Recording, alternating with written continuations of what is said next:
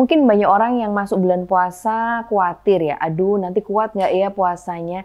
Kekhawatiran seperti itu sebenarnya wajar, apalagi bagi sobat sehat yang punya masalah lambung. Artinya menyambut puasa itu butuh persiapan yang matang loh. Apa saja persiapan yang dibutuhkan?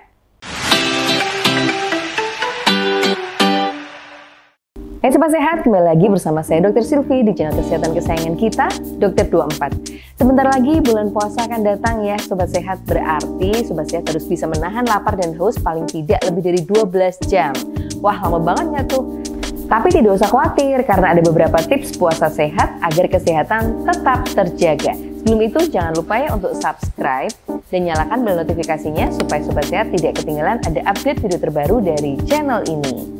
Mungkin banyak orang yang masuk bulan puasa khawatir ya, aduh nanti kuat nggak ya puasanya. Kekhawatiran seperti itu sebenarnya wajar, apalagi bagi sobat sehat yang punya masalah lambung. Artinya menyambut puasa itu butuh persiapan yang matang loh.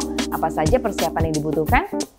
Pertama, kurangi konsumsi kafein selama puasa berlangsung. Kafein terdapat pada kopi, teh, atau minuman lainnya. Dan ini membuat sobat sehat lebih waspada dan melek. Tetapi kafein juga punya sifat diuretik loh. Keadaan ini mempermudah seseorang mengalami dehidrasi kalau tidak diimbangi dengan minum air putih yang cukup.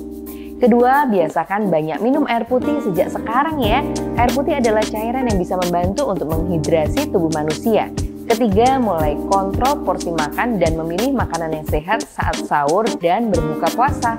Jangan sampai waktu buka puasa nanti makanan apa pun bisa masuk ke perut hanya karena rasanya enak.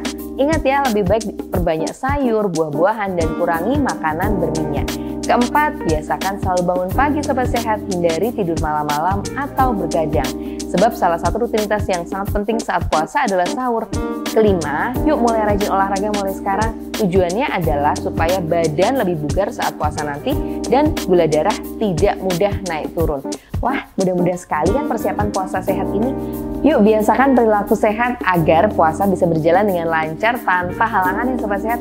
Demikian informasi kesehatan kali ini dan simak terus informasi kesehatan lainnya hanya di Dokter 24. Salam sehat.